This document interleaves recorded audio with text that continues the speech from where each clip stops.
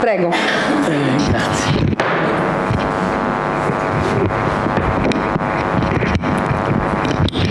Io ringrazio innanzitutto dell'invito a questa, a questa iniziativa LEACLI che, come dicevo poco fa al Presidente, ritengo fondamentale. Quindi vi auguro non soltanto grande successo per questa, per questa edizione eh, di questa iniziativa, ma eh, l'augurio è che questa iniziativa possa continuare, rafforzarsi, approfondirsi anche grazie un po' al contributo di tutti. Eh, cerco di essere il più breve possibile per dare poi modo, se eh, lo ritenete possibile e opportuno, oltre che alle, alla discussione eh, animata dalle, dalle domande di Vincenzo, anche poi una discussione che possiamo fare, un ragionamento che possiamo svolgere insieme. Allora, eh, la Pira, intanto situiamolo cronologicamente per quelli di voi che forse non lo sanno, nasce nel 1904 a Pozzallo, provincia di Ragusa, una città, più che ora, una città che fino a qualche anno fa nessuno conosceva e che oggi conosciamo per gli sbarchi, una città che è comunque, tanto per situarla ancora quella geograficamente, più a sud di Tunisi eh, muore a Firenze nel 1977, quindi relativamente giovane. Eh, si potrebbe dire moltissimo di lui, mi interessa dire, ricordare eh, quello che certamente tutti sapete, che è stato uno degli artefici, uno dei padri costituenti, specialmente nella parte fondamentale della, della nostra Costituzione alcuni del, dei, dei, principali articoli proprio, sono proprio scritti di sua mano in qualche modo. Però è stato, come diceva giustamente Rita, è stato essenzialmente un sindaco. E lui stesso quando dopo anni, dopo qualche anno, la, la, lui diventa sindaco nel 1951 e lo è fino al 1964, in una intervista disse quando sono stato sindaco ho capito fino in fondo dall'interno l'importanza e la eh, applicazione pratica di quei principi che teoricamente avevamo discusso nella Costituzione.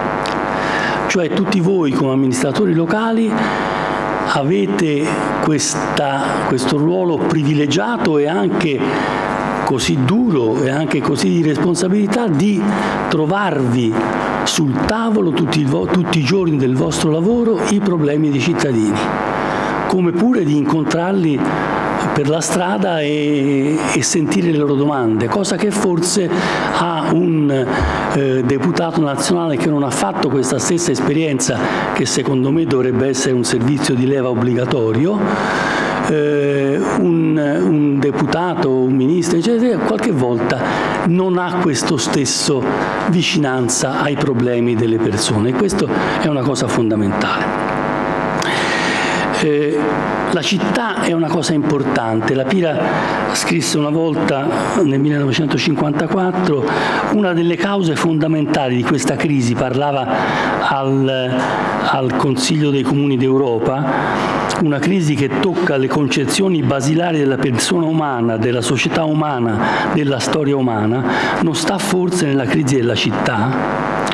La città con le sue misure, il suo tempio, le sue case, le sue strade, le sue piazze, le sue officine, le sue scuole, rientra in qualche modo nella definizione dell'uomo. Ecco quindi che al di là dei problemi concreti, eh, il governare la città entra direttamente a contatto con i principi fondamentali della convivenza, della, della natura umana, della persona umana. Governare eh, o comunque essere impegnati nell'amministrazione è essenzialmente un atto d'amore. Non esiste un governo tecnico. Un governo è sempre politico e la politica, certamente il governo politico deve anche saper assumere la tecnica e sapere utilizzare la tecnica, ma la politica deve farsi amore, deve farsi servizio. La, la città, nel, nel, governare la città è uno strumento di servizio. Governare la città è una scuola di politica, come dicevo prima il servizio di lei era obbligatoria e attraverso l'impegno nel, nelle comunità locali che noi possiamo riconciliare i cittadini con la politica. Quindi un ruolo fondamentale, estremamente importante. E poi, e come voi sapete tutti per esperienza diretta, è un dare e un avere di una straordinaria intensità è un luogo privilegiato. Io, eh, diceva Rito, ho avuto questa esperienza non cercata e assolutamente non attesa in un periodo particolare della nostra storia che conosciamo, che sono gli anni 50, dal 94 al 95, è stata un'esperienza per certi versi devastante che alla fine negli ultimi tre mesi della mia esperienza da, da sindaco, senza aver mai fatto un'esperienza diretta in amministrazione locale, sono stati tre mesi in cui non ho chiuso occhio, okay. dopodiché eh, è stato necessario interrompere questa esperienza. Eh, naturalmente le, le, cose vanno anche qualche volta prese a piccole dosi, ma in certi casi non si può fare a meno di prendere le dosi, le dosi massicce. Detto tra parentesi, io ho incontrato la Pira eh, quando aveva appena 15 anni, quindi nell'alto medioevo quasi, e eh, vi ricordo soltanto la frase che ricordo ancora, me la sento suonare nell'orecchio, lui passò per un minuto a una riunione nella conferenza di San Vincenzo dove stavo io e disse una frase che io ricordo spesso quando parlo di lui, ragazzi da domani dovete pregare con il mappamondo sul comodino. Questa frase io la raccomando anche a voi, perché veramente noi dobbiamo certamente agire localmente, ma dobbiamo avere una visione che è una visione globale, che è una visione veramente mondiale. La politica è locale, è impegno locale, ma deve essere alimentata da una visione globale. Allora, rapidamente, la città. La città sicuramente, la città, voglio dire città in senso lato, cioè va dal, dal paese piccolo alla metropoli, è generatrice di identità. Il pericolo di un'identità forte è quella di essere chiusa.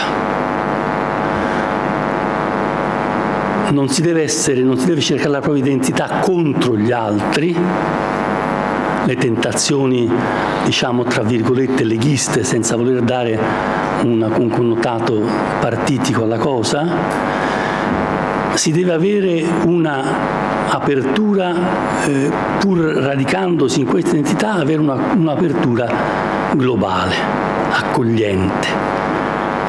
Un, un, un, filosofo francese che la Pira citava eh, spesso diceva sono gli animali senza spina dorsale che hanno bisogno di circondarsi di un guscio. Allora l'identità forte è la spina dorsale e nella evoluzione biologica quando nasce la spina dorsale l'esoscheletro cade. Quindi l'identità forte è di per sé stesso dialogo. Quindi la città è generatrice di identità, ma è al tempo stesso anche un fattore di dialogo. Eh, un'altra frase di La Pira che voglio leggere, quando La Pira, e si dice giustamente, La Pira è una persona con lo sguardo al cielo ma con i piedi piantati fortemente sulla terra, diceva, diceva, diceva Rita, è, è stato un amministratore estremamente importante per questa città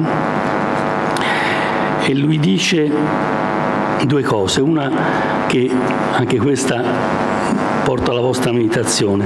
Il nostro compito di guide della città è pensare è essenzialmente quello di meditare. Se non meditiamo siamo soltanto dei direttori generali.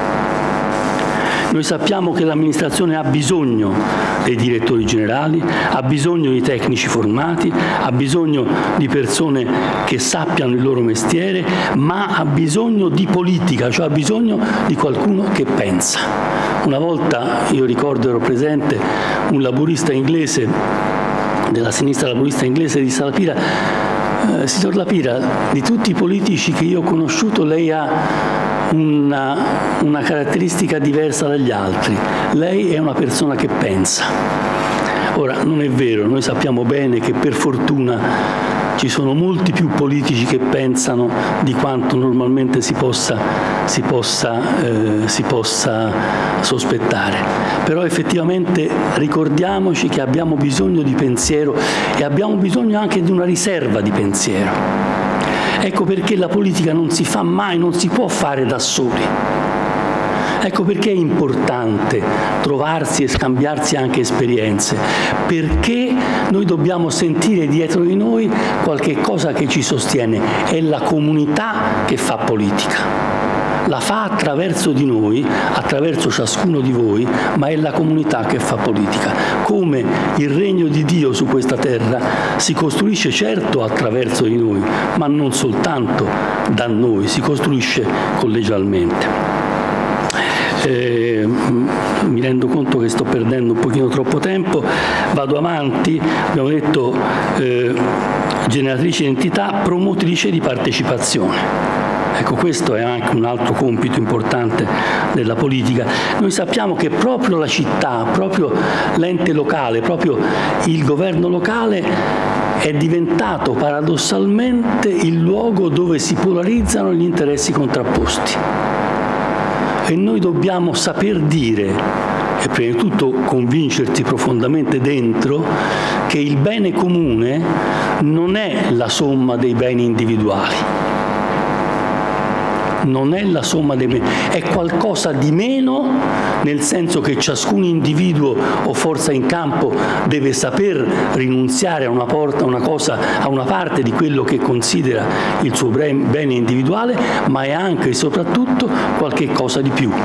Il compito della politica è proprio mediare tra le conoscere prima di tutto, eh, vi ricordate eh, Papa Giovanni XXIII, conoscere, giudicare, agire, conoscere le esigenze, giudicare nel senso di riuscire a mediare tra queste cose e riuscire a fare una sintesi a un livello più alto e, di, e, in, conseguenza, e in conseguenza agire. E, e, questo è il compito della politica, il compito dei partiti.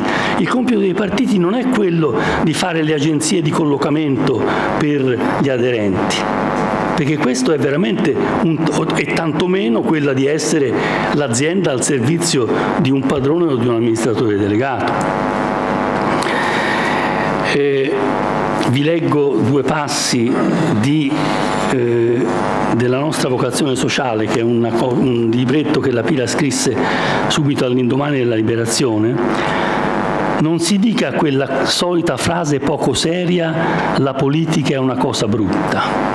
Quante volte lo sentiamo dire, la politica è una cosa sporca, tante volte lo, ci sentiamo quasi di dirlo, di dirlo dentro di noi. No, l'impegno politico eh, è eh, un impegno di umanità e di santità. È un impegno di umanità e di santità. E ancora, proprio parlando che la pira non si capisce niente di Lapira se non, si, se non si tiene presente la sua profonda fede religiosa. Il nostro piano di santificazione è sconvolto. Noi credevamo che bastassero le mura silenziose dell'orazione e invece non, Signore. Bisogna lasciare, pur restandovi attaccato col fondo del cuore, l'orto chiuso dell'orazione.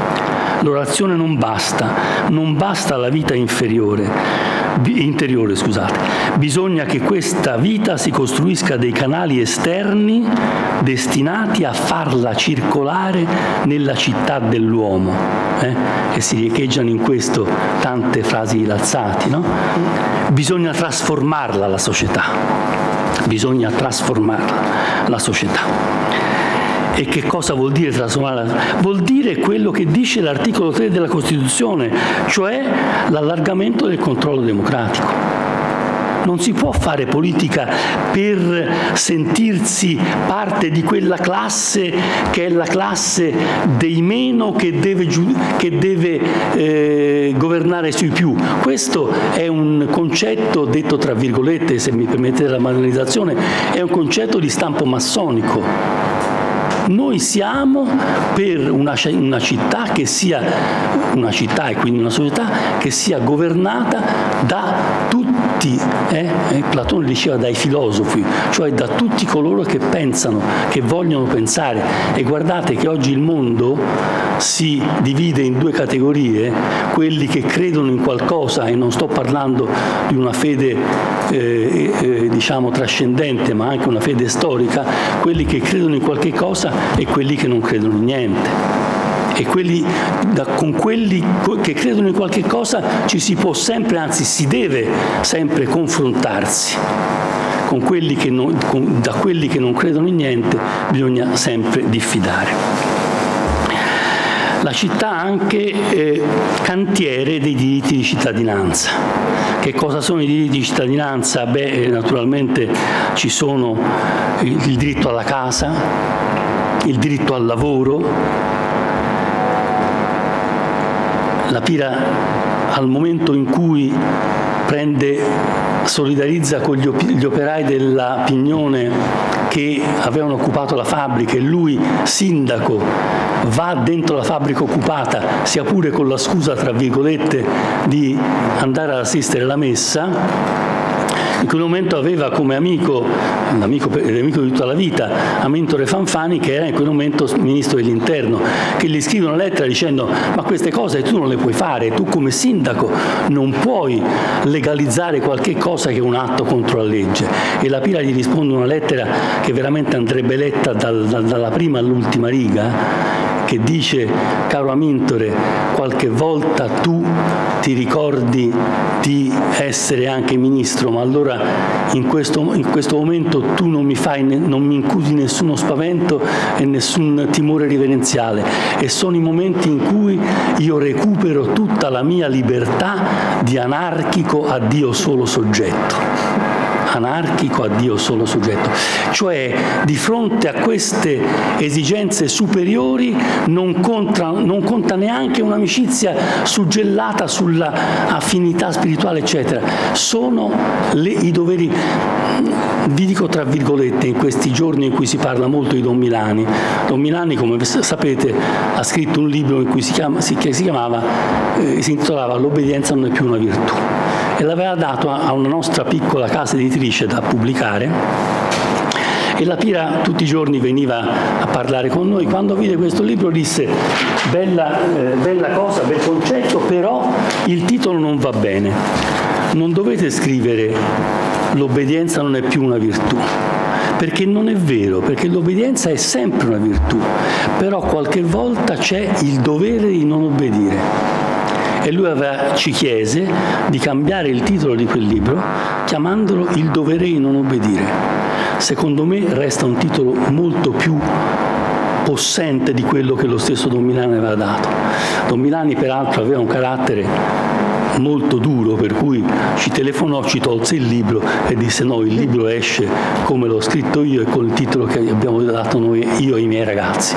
Però in ogni modo io resto convinto che veramente quello che disse la Pira, l'obbedienza resta sempre una virtù, ma qualche volta c'è il dovere di non obbedire, cioè non ci si può trincerare dietro l'obbedienza, non ci si può trincerare e in questo senso la Pira è profonda, pur essendo un uomo di profonda fede, anzi proprio perché uomo di profonda fede è un uomo di profonda laicità una volta disse a un sacerdote che, sapete, negli anni 50 i sacerdoti portavano anche voti, c'erano tanti politici che si diceva andavano in chiesa non tanto a cercare Dio quanto a cercare voti, bene, qualche volta i, i, i sacerdoti poi pretendevano di, di, di mm, presentare il conto e uno di questi, di questi venne dalla Pira dicendo ah lei sindaco dovrebbe fare questo, dovrebbe fare questo. La Pira gli, rispo, gli rispose padrino lei dica un'Ave Maria che a fare il sindaco ci penso io. E gli tappò la bocca con questo. Eh, laboratorio di solidarietà, oltre che cantiere. Diritti di cittadinanza, io direi, ne ho citati alcuni, avrei, ce ne sarebbero.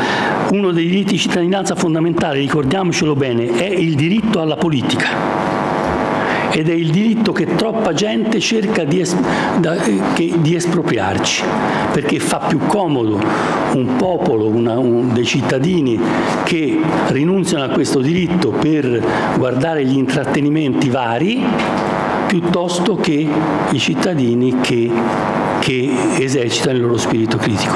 Guardate, sarà molto, e lo sapete bene, tanto bene quanto me, forse di più, sarà molto più faticoso far esercitare ai cittadini questa partecipazione, cioè questa, questa amministrazione partecipata. Faticoso e lungo, però è l'unico modo di andare in fondo. Non si può fare una cosa come si suol dire in inglese, perché tante volte si dice in inglese le cose non si capiscono tanto bene, non si può fare il top down in politica, bisogna fare il bottom up dal basso si sale all'alto e poi con la responsabilità dell'alto si prende la decisione, ma si parte sempre dalle esigenze del basso. Laboratorio solidarietà non vuol dire assistenzialismo, l'assistenzialismo è quello che crea le disuguaglianze ubbidienti, l'assistenzialismo non è inclusivo e quindi non può essere dinamico, l'assistenzialismo si limita all'emergenza.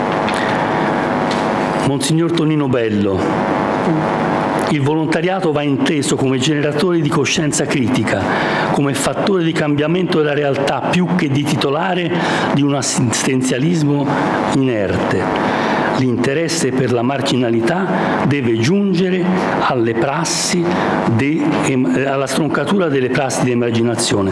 Il volontariato è chiaramente chiamato a schierarsi, a decidere da che parte stare. Se vuole che la sua azione sia demolitrice delle strutture di peccato o che rimanga una semplice opera di contenimento e di controllo sociale di utile ammortizzatore tutto sommato funzionale al sistema che tali strutture produce e coltiva. Lo stesso che, de- che Monsignor Tennovello diceva al volontariato lo possiamo dire al nostro impegno di tutti i giorni, sia nel volontariato che nell'amministrazione. Eh, a mio avvio rapidamente alla conclusione, spero, sì, anzi sicuramente sì. Ultimo punto, la città è icona della pace.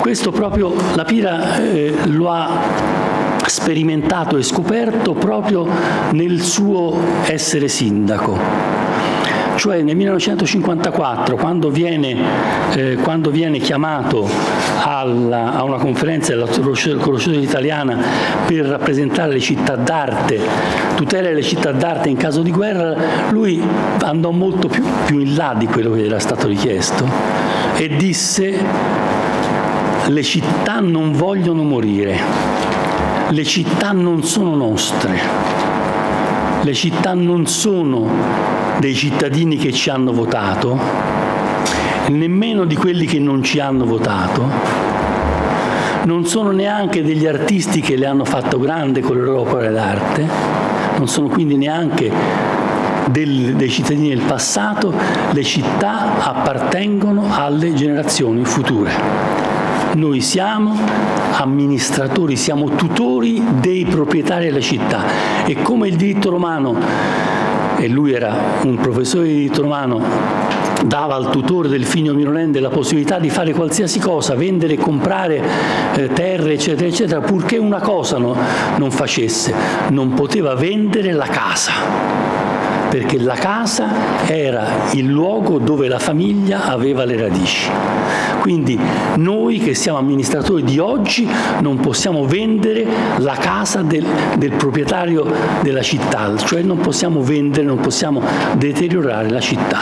Noi abbiamo il dovere proprio come amministratori di impedire che questa venga distrutta dalla guerra. E qui naturalmente sarebbe da parlare a lungo sul, eh, sulle azioni di Lapira come, come sindaco, come eh, artefice di pace. E eh, però non la voglio far lunga, semmai ne, ne, ne parleremo dopo nella nostra discussione, vorrei chiudere eh, citando un altro grande personaggio di quegli anni, Domelder Camara, vescovo di Olinda e Resife, eh, padre conciliare, grande amico di Lapira, che quando celebrò a Firenze la messa a un mese dalla, dalla morte del professore disse eh, nessuno ha il diritto di ascoltarlo e di accontentarsi semplicemente di applaudirlo. L'unico omaggio reso alla pira consiste nel non risparmiarsi, nel rischiare, nell'adoperarsi perché la giustizia e l'amore aprano la strada alla pace.